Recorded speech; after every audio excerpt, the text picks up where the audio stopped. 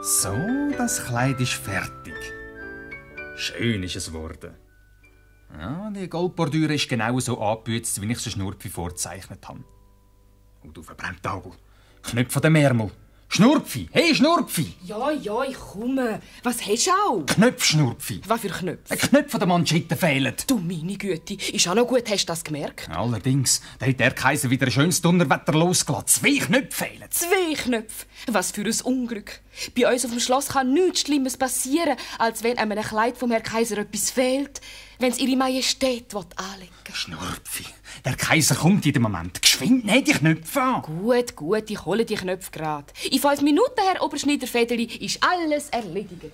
Ja, unsere Oberneierin Schnurpfi. Ja, eine Liebe ist sie ja. Aber manchmal dunkt es mir eben das Hirn wie ein Sieb. Ah, der Oberschneider-Federli. Jetzt habe ich doch gemeint, ich hätte die Schnurpfi hören reden. Du hast ganz recht gehört, Prinzessin Victoria. Sie ist da und sie kommt auch gerade wieder. Prima. Dann warte ich gerade da auf sie. Entschuldigung, Prinzessin, wenn es dir nichts ausmacht, allein zu warten. Ich muss nämlich schauen, dass der Kaisermantel zu dem Kleid da fertig wird. Ist schon gut, Fedeli. Eduard, komm, es ist gut. Die Luft ist rein. Du, Victoria, meinst du, es sei wirklich gut, wenn man der Schnurpfi alles erzählt? Die weiss doch schon lange, dass du mein Freund bist. Aber wäre es nicht besser, wir würden einfach mal zu deinem Vater gehen und ihn fragen, ob wir uns dürfen heiraten Vielleicht wäre er ja einverstanden. Und dann wäre das ganze Theater gar nicht nötig. Ach, Eduard, ich habe es doch schon manchmal probiert. Aber jedes Mal, wenn ich ihn darauf anrede, hat er immer nur seine Kleider im Kopf. Ich glaube, er hört mir einmal gar nicht zu. Kleider und nochmal Kleider, das ist alles, was meinem Vater interessiert. Wie schön wär's doch, ein Vater zu haben, zu dem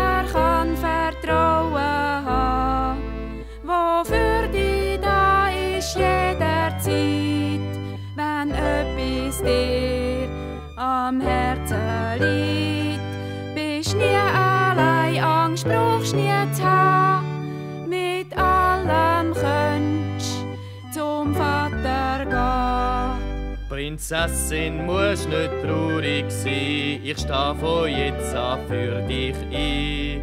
Zu mir kannst du Vertrauen haben. Ich werde dich sicher nie verlassen. Mein Schatz, du weisst, ich han dich gern, doch das Glück, das liegt für uns so fern.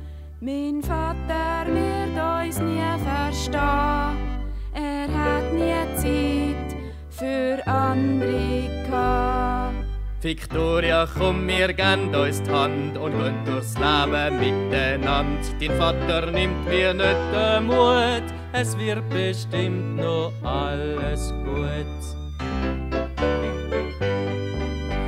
Denn du, du wirst meine Frau Und du, du wirst mein Mann. und unserem Kind wird's mal besser gehen. Es wird einmal ein Vater haben, zu dem es kann Vertrauen haben. Wo für uns da ist jederzeit. wenn etwas ihm am Herzen liegt. Sie ist nie allein, Angst braucht's nie zu haben. Mit allem kann's zum Vater gehen. Es ist doch schön, einen Vater zu haben, zu dem er kann Vertrauen haben. So, da wären die Knöpfe. Prinzessin! Ah, Schnurpfi, wir haben auf dich gewartet. Schau, ich will dir den Prinz Eduard vorstellen. Freut mich, Frau Schnurpfi, Sie kennenzulernen. So, und ausgerechnet hier im Thronsaal. Das ist gefährlich. Der Federli hat gesagt, der Herr Kaiser käme jeden Moment. Eben ist es gefährlich, wenn sich der Eduard immer muss so verstecken muss. Das soll jetzt anders werden, Schnurpfi. Lass uns zu, wir haben einen Plan. Aber nicht jetzt, der Herr Kaiser... Wir passen schon auf, Frau Schnurpfi. Gut, aber zuerst muss ich hier die zwei Knöpfe anbüzen. Ach, komm, ich helfe dir, Schnurpfi. Dann geht's schneller. Hast du noch mal einen Nadel und einen Faden? Klar, das Guffenküssi habe ich immer bei mir. So, und da ist der Knopf. Schnurpfi, wie du weißt, habe ich den Prinz Eduard gern. Ja, ich weiß. Und? Darum möchtet wir doch gern zusammen sein. Das wird der Herr Kaiser aber nie erlauben. Für ihn kommt nur ein reicher Prinz in Frage. Und der Prinz Eduard. Eben, aber immer aufs Schloss schleichen und sich da wie ein Dieb verstecken, das kann der Eduard doch auch nicht. Und darum haben wir gedacht, der Prinz Eduard könnte als ganz gewöhnlicher Hofgärtner zu uns arbeiten. Als unser Hofgärtner? Aber wie wird denn der Prinz unser Gärtner? Eben, das wäre deine Aufgabe. Du musst mich am Hofmarschall Jufli vorstellen und ihm sagen, er soll mich am Herr Kaiser vorstellen und alles Mögliche unternehmen, dass ich als Gärtner angestellt wird. Ja, das wird nicht so einfach sein. Schnurpfi, Ich mache, was ich kann. Aber ob denn der Herr Kaiser will, ich weiß nicht. probier's doch. Dann könnten doch der Eduard und ich uns sehen, so viel wir wollen. Was meinst du, Schnurpfi? Also gut, an mir soll es nicht fehlen. Aber so in diesen vornehmen Kleidern kann ich doch den Prinz Eduard dem Hofmarschall nicht als Gärtner vorstellen. An das haben wir auch schon gedacht. Schau, Schnurpfi, wir haben ein paar alte Kleider mitgebracht. Also ihr sind dann schon noch Donnerwetter. Also komm, Prinz, ich bring dich jetzt zum Hofmarschall. Und dann können wir nur noch hoffen, der Kaiser hat eine gute Stunde. Und wenn er auch nur gerade gute fünf Minuten hat. Es ist ja schon traurig, dass ich auf solchen Umweg muss mit einer Bitte am Vater gelangen So, auf Marschall Jufli. Ja, wo ist er auch? Grüezi, Papi. Ah, du bist da, Victoria. Wo ist ja der Hofmarschall? Was der mich doch wieder warten lässt. Dabei sollte ich ihn doch unbedingt haben. Gewiss wegen dem neuen Kleid. Ganz richtig. Wie du das gerade verraten hast. Schau, Papi, da ist es. Es soll gleich fertig sein. Der Oberschneider Fedeli ist gerade den Mantel holen. Gell, es ist schön, Papi. Ah, ganz nett, aber es ist nichts Neues. Ja, aber Papi... Das sieht ja aus wie die anderen. Es hat Ärmel, einen Kragen und eben, was so die anderen alten Kleider auch haben. Aber es ist doch aus einem ganz neuen, schönen Stoff. Neuer Stoff. Hoffentlich auch. Ja, Knöpfe sind einmal ein bisschen höher oben angebüzt und das andere mal tiefer. Heute hat es zwei Knöpfe, morgen vier, übermorgen sechs und dann wieder nur zwei. Soll das etwas Besonderes sein? Ich will schönere Kleider, reichere, prunkvollere. Ich bin doch schließlich ein Kaiser. Hofmarschall! Wo steckt er auch wieder? Soll ich ihn rufen? Kind, was fragst du denn so blöd? Klar, gang sagen, man soll daher kommen. Aber ein bisschen tiefig. Zu Befehl, Papi. Ist das ein Kreuz mit diesen Leuten? Ewig lassen sie mich warten. Hm, Jetzt habe ich das Kleid schon vier Stunden da. Ich muss dringend ein neues Gewand haben. Sonst muss ich mich ja noch schämen in diesen alten Lümpen. Ihre bestangeleiteste Majestät, der Herr Kaiser Alexander, hat mich gesucht. Jawohl, Hofmarschall Jufli, das habe ich. Wo ist der Oberschneider Federi? Ja, der ist, äh, ja, ja, den habe ich gesucht, aber, äh, ui, das Gestürme. Ich, ich will gerade... Äh, Ihre bestangeleiteste Majestät, Herr Kaiser, mit Verlaub, ich bin schon da. das ist ja nicht möglich. Ich habe gerade den Kaisermantel fürs Morgendrig neue Kleid mitgebracht. Komm, Schnurpfi, da über damit. So, so, fürs Morgendreck neu Kleid. Was ist denn da dran so neu? Federi? Alles Majestät, der hinterste und letzte Knopf. Goldbordüre. Jeder Faden, jedes Riegeli. Wirklich alles, Herr Kaiser. Ja, das muss auch so sein. Ihre Majestät hat ja befohlen, dass die alten Kleider müssen im Estrich gelagert werden. Ja, das Material, der Stoff ist neu. Aber ausgesehen sie wie die alten, gewöhnlich und langweilig. Federi? Ja, Herr Kaiser? Ab sofort muss jedes Kleid ganz neu sein. Das heisst, ich will keine Kleider anlegen, wie man sie überall sieht. Ich will fantasievollere Kleider, mehr Stoff, reichere Stoffe, längere Schleppen, grössere Kragen, prunkvollere Ärmel. Ich will Kleider, die prächtiger sind als alles, was man bis jetzt kennt und keins darf aussehen wie das andere. Verstanden? Jawohl. Zu Befehl, Herr Kaiser. Jedes Kleid ein neues Modell. Ich bin der größte und mächtigste Kaiser weit und breit. Auf der Welt gibt's keine, wo schönere Kleider trägt. Mich, der Kaiser Alexander vom Siederland. Sieht man jeden Tag in einer schönen neuen Gewand. Doch von jetzt an, das gib ich euch kund, werden die Kleider gewechselt jede Stunde. Werden Kleider gewechselt jede Stunde. Jede Stunde. Jede Stunde. Jede Stunde. Ich blieb der größte und mächtigste Kaiser weit und breit. Auf der Welt gibt's keine, wo schönere Kleider trägt. Mich, der Kaiser Alexander vom Siedenland, sieht mir jede Stunde in einem schönen neuen Gewand. In einem schönen neuen Gewand. Entschuldigung, Majestät, aber jede Stunde neues Gewand und dann erst noch längere Schleppen und grössere Kleider. Das kostet doch einen Haufen Geld und wir haben doch sonst schon nicht mehr so viel. Hofmarschall, was heißt denn da kein Geld? Ich kann es doch meinem lieben Volk nicht zumuten, dass es einen Kaiser hat, der den ganzen Tag das gleiche Kleid muss anhaben. Mein Volk hat es verdient, dass sein Kaiser die bestangelegteste Majestät ist und bleibt. Und darum lege ich von morgen an jede Stunde ein neues Kleid an. Zu Befehl, Herr Kaiser. Majestät, das würde also heißen, jeden Tag zwölf neue Kleider machen. Ganz richtig, Federi. Zwölf. Und heute am 5. Uhr will ich gerade Muster und Zeichnungen für die ersten zwölf Kleider sehen. Und denkt dran, jedes anders. Zu Befehl, Majestät. Jedes anders. Jedes anders. Jeden Tag zwölf neue Kleider. So etwas. Sagen Sie jetzt wegen dem Gärtner. Oh, Hofmarschall. Ja, Herr Gärtner. Was? Äh, oh, Entschuldigung, Herr Zwölf. Äh, Majestät. Oh, du verbrennte Alltag neue andere zwölf Gärtner kennen gleich. Oh, Herrje, das, das Gestürm. Das Hofmarschall Gestürm. Jufli, was soll das? Majestät, es tut mir leid, ich, ich bin noch ein bisschen durcheinander gekommen. Wieder einmal. Wer will denn wegen so Kleinigkeiten nervös werden? Ja, Herr Kleinigkeit. Äh, ich meine, Herr Kaiser. Äh, von wegen Kleinigkeiten. Es ist ein Bursch draussen. Ein Gärtner. Ein Gärtner? Was sucht denn ein Gärtner bei uns? Ja, er sucht Arbeit und will gerne... Kann er Bützen, Schneider, Kleider machen? Ich weiß nicht, Herr Kaiser, aber... Wir brauchen keinen Gärtner. Excuse, Majestät, aber jetzt, wo wir jeden Tag müssen zwölf neue Kleider machen könnten wir doch den Prinz... Du Verbrennttagel! Was meinst du, Schnurpfi? Äh, Entschuldigung, Majestät, es ist mir nur... äh, ein lustiger Übernahme in den Sinn gekommen. Primeli-Züchter. Primeli-Züchter. Dann könnten wir doch den Primeli-Züchter vielleicht auch in der Schneiderei brauchen. Oh, ein bisschen Büzen, das hat man ja gleich mal gelernt. Primeli-Züchter. Der ist gut. also gut, wir stellen den Gärtner ein. Aber in die Schneiderei. Und wenn er dann am Sonntag noch Lust und Zeit hat, kann er immer noch zum Garten schauen und Primeli züchten. so, ich muss jetzt arbeiten. Komm, Schnurpfi, hilf mir, ich will schauen, wie mir das Kleid da steht.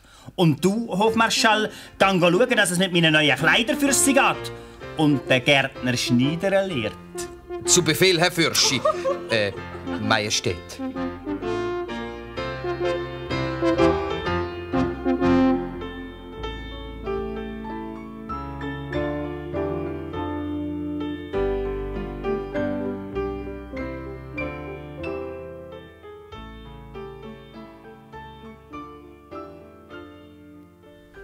So etwas. Zwölf neue Kleider pro Tag, das, das ist ja verrückt. Ich habe auch gar keine leichte Aufgabe als Hofmarschall vom Herr Kaiser.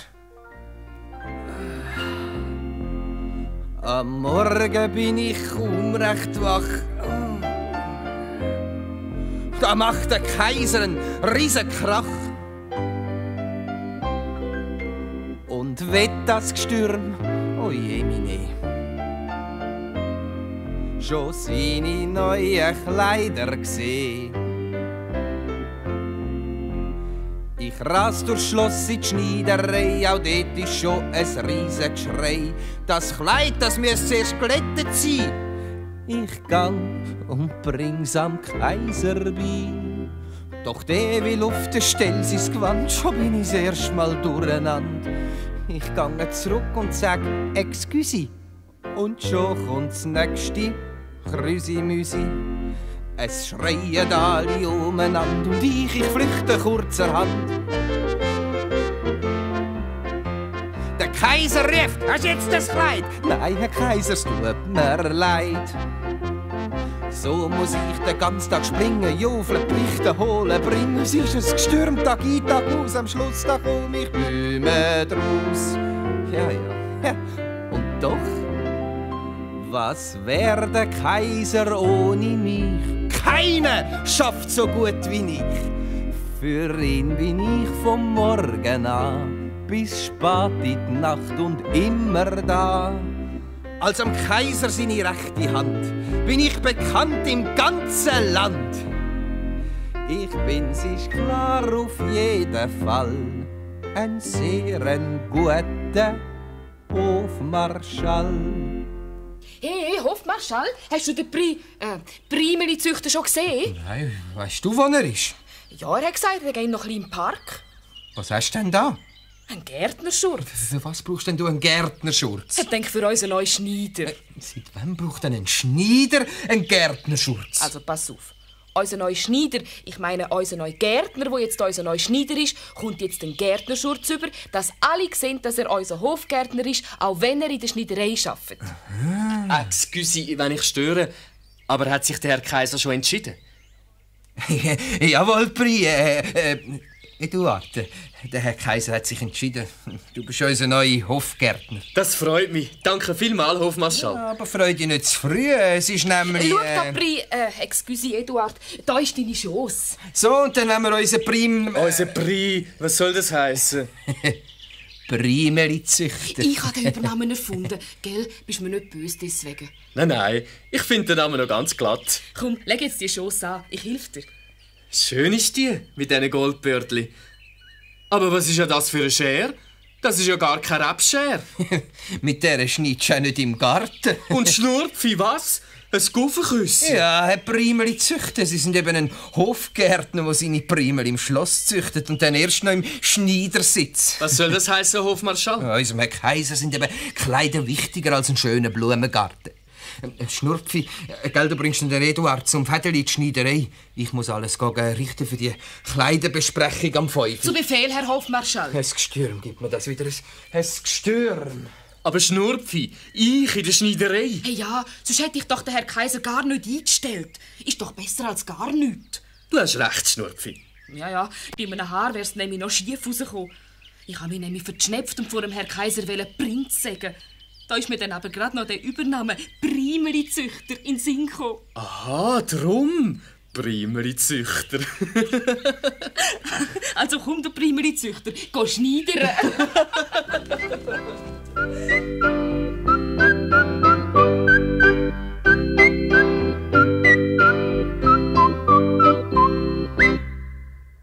Au, Heimatstüdeli. Jetzt habe ich schon wieder im Finger gestochen. Das ist nur die erste Woche so. Mit der Zeit gewöhnst du dich dran. Ja, vielleicht. Aber an die blöde Sitzerei gewöhne ich mich nie. Da schlafen einem ja Beine. Nichts ist. Auf mit dabei.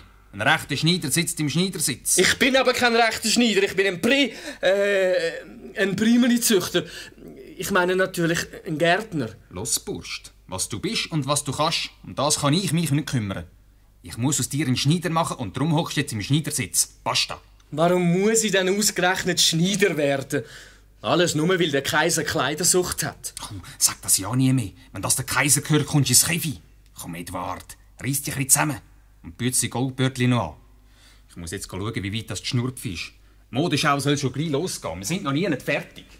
Die blöde Modeschau. Die blöden Kleider.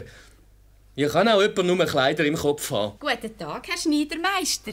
Muss mich gar nicht hänseln, Victoria. Mir ist es nämlich nicht mehr ums Lachen. Aber Eduard, bist du denn nicht mehr froh, dass du jetzt hier auf dem Schloss bist? Mal, mal klar, das schon. Hm, Aber da, der Kabis mit diesen Kleidern, das Schneidern, oh, das stinkt mir grusig. Victoria, wenn es nicht wegen dir wäre, ich sage das ganz ehrlich, ich mir es keine fünf Minuten. Das glaube ich dir sofort. Aber weisst, auch mir ist es manchmal zu Mut, dass ich am liebsten würde rauslaufen Dann komm mit mir, wir hauen sofort weiter weg von dem Schloss. Nein, Eduard, das mache ich nicht. Mein Vater ist doch immer noch mein Vater. Und einfach so davonlaufen, also das kann ich nicht. So? Aha, unserem Schneider ist meine Arbeitslust schon wieder vergangen. Er ist am Schneddern.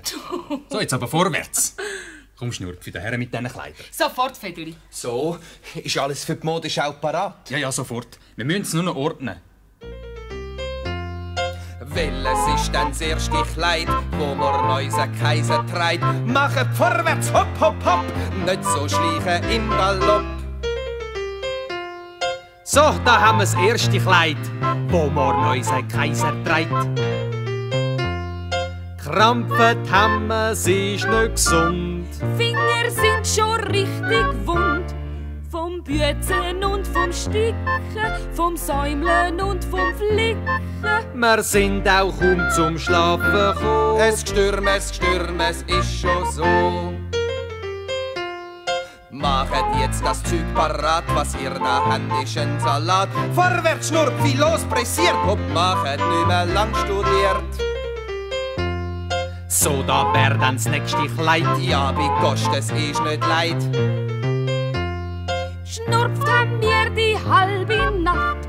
Pause haben wir auch nie gemacht. Haben glättet, bützt und gemessen und nicht einmal recht gegessen. Vor Hunger ist uns halbe schlecht. Es gstürm, es gstürm, ihr habt schon recht. Schau, Jufri, die sind auch bereit. Das ist dritt. Und das vierte Kleid. Samenseide, Goldbrokat. Wirklich schöne Kaisergestalt.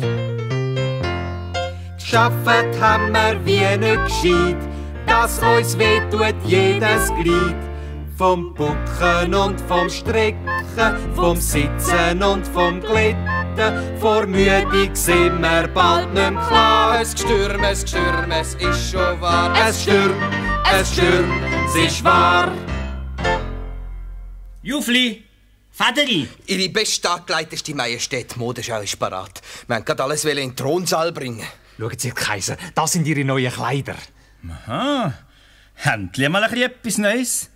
Aber da, da will ich noch mal eine Goldporte dran, das sieht ja schäbig aus. Schnurpfi, äh, die kannst du dann gerade noch anbieten. Sehr wohl, Majestät. Und zu dem Kleidfederli will ich noch einen Hut. Hast du verstanden? Selbstverständlich, wie Ihre Majestät befiehlt. Einen Hut.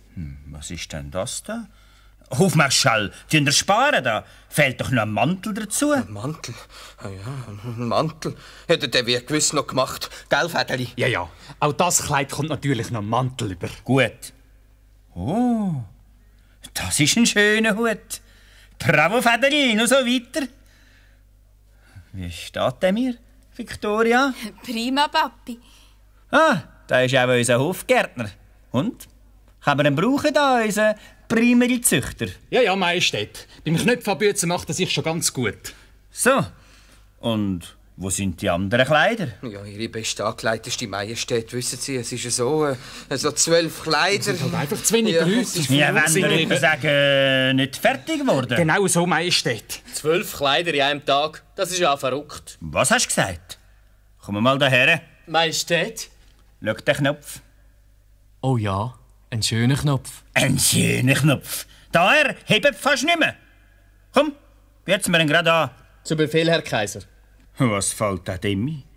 Ich habe doch die Schneider zum Knöpfe anbüzen und nicht zu mir reinreden und noch zu sagen, ob meine Knöpfe schön sind oder nicht. Aber Papi, er hat es doch nicht so gemeint. Mir ist gleich, was er meint. Ich habe es so verstanden. Excuse, Majestät, darf ich den Knopf jetzt anbieten? Darf ich? Nein, muss.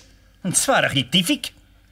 So, Fedelier, werden also nicht fertig. Nein, Herr Kaiser, unmöglich. Jufli, was haben wir noch für Leute im Schloss, die nicht in den Schneiderstuben beschäftigt sind? Da wären noch Küchenposten, die Stubenmädchen, die Stallknechte. Gut, die werden von jetzt an alle beim Büzen mithelfen. Ja, aber Herr Kaiser. Ich will meine zwölf Kleider... Au!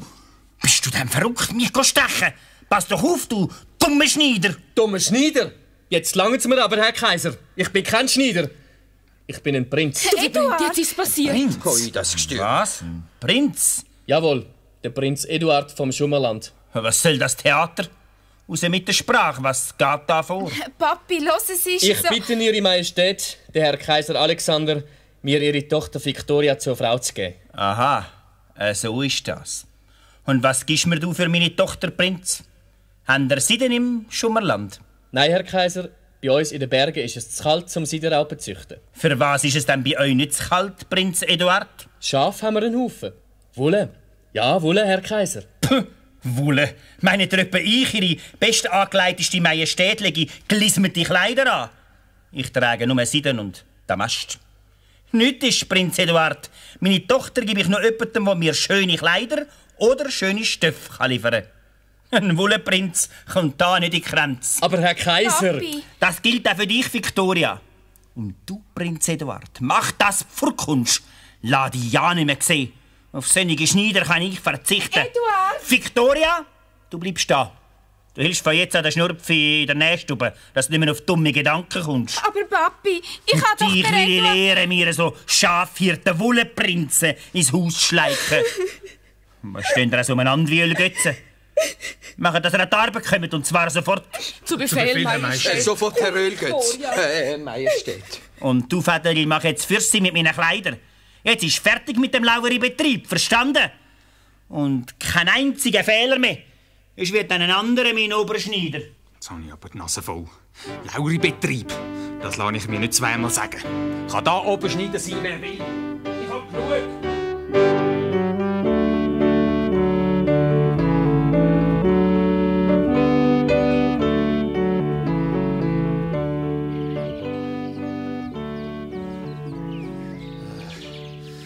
Koffer schwer? Ich muss einen Moment ausruhen. Lauri Betrieb. Seid doch der, ich heg. Hä? Ist das nicht der Prinz Eduard? Hey, Prinz Eduard! Fadeli, was machst denn du da? Und davon gelaufen bin ich. Ich habe genug von dieser Schufterei Tag und Nacht. Das trifft sich ja gut. Hä? Los, Fadeli, ich habe nämlich einen Plan. Und du kannst mir gerade helfen dabei. Ja, um was geht's? Schau, das ist ja so. Ich habe Victoria lieb und will, dass Prinzessin meine Frau wird. Ja, wählen kann man schon, aber überkommen, ha, das ist noch etwas anderes. Ich glaube, beim Herr Kaiser Alexander ist das viel einfacher, als man meint. Er hat doch gesagt, er will schönen Stoff für Prinzessin. Ja, Seidenstoff. Genau. Also pass auf. Wir besorgen uns einen Webstuhl und weben dem Kaiser Alexander den allerschönsten Stoff, was es gibt auf der Welt. Und verlangen dafür so einen hohen Preis, dass der Herr Kaiser gar nicht genug Geld hat, um den Stoff zu zahlen. Blöd. Dann kann er ihn ja nicht kaufen. Doch! Wir verlangen für den Stoff auch noch Prinzessin Victoria. Der Herr Kaiser hat ja selber gesagt, nur einer, der schönen Stoff bringe, käme seine Tochter zur Frau über. Aha. Ja, darum muss der Stoff mehr kosten, als ein Kaiser Geld hat. Aber woher willst du dann die Seide nehmen, um den schönen Stoff zu weben? Schau, Federli, das ist ja so. Es gibt gar keinen Stoff. Kein Stoff? Aber Prinz, du hast dich doch im Finger gestochen und nicht in den Kopf. Ich glaube, bei dir ist etwas brr. Nein, Federli, jetzt los doch weiter. Der Stoff, den wir weben, ist eben ein Wunderstoff. Und der Wunderstoff sieht man nicht. Aber der Kaiser will doch einen Stoff, den man sieht. Das ist es ja gerade. Und alle am Kaiserhof wissen das. Und darum ist es möglich, dass mein Trick auch gelingt. Wir sagen dem Herr Kaiser, dass unser Webstuhl ein wunderschöner Zauberstoff webe. Und das Geheimnis an dem Stoff sagt, dass jeder, der den Stoff nicht recht sieht, zu dumm ist für sein Amt. Das ist eine Bombenidee. Es wird sich doch niemand getrauen zu sagen, dass man den schönen Stoff, den der Kaiser kauft, gar nicht sieht. Also, wie ist es? Machst du mit? Klar, ich bin dabei. Wir müssen uns natürlich noch verkleiden und Bärte anlegen und so, dass uns niemand kennt. Oh, Prinz, das gibt es Gaudi. Aber Prinz darfst du mir dann von jetzt an nicht mehr sagen. Aha, ja gut. Äh, wie wär's mit Weberzieh und Stoß? Oh ja, dann bist du der Ein und Aus. Prima. Hoffentlich klappt alles.